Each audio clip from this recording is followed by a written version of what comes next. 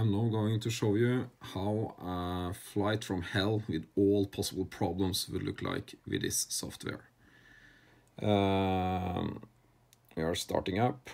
Notice no alarms and the pump voltage are zero. We are running normal. The RPMs are ramping up. Running fine. The shaft RPMs are ramping up. Running fine. And uh, EGT is ramping up. No problems. But suddenly it overheats. Exhaust temperature high. You get a message. We reset that one.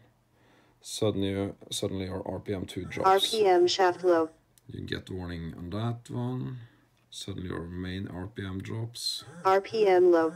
You get warning on that one. Notice that you only get these alarms above a given threshold, so you won't get them when standing still, only in flight and when things are dropping. You will get ECU battery low. battery low if the battery are dropping.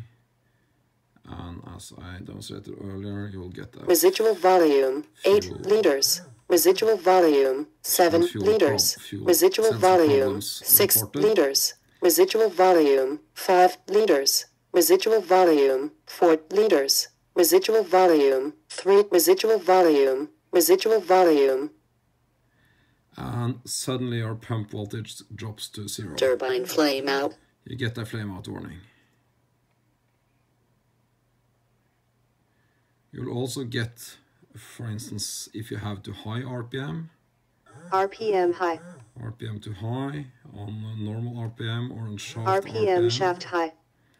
And you'll get a warning if your batteries are ECU too battery high. high. And just try to reset it here and then you can get a lot of warnings from all the statuses on the turbine like uh, Power failure. power failure Clutch fail. clutch failure ECU reboot. ECU reboot Ignition timeout. ignition timeout No oil.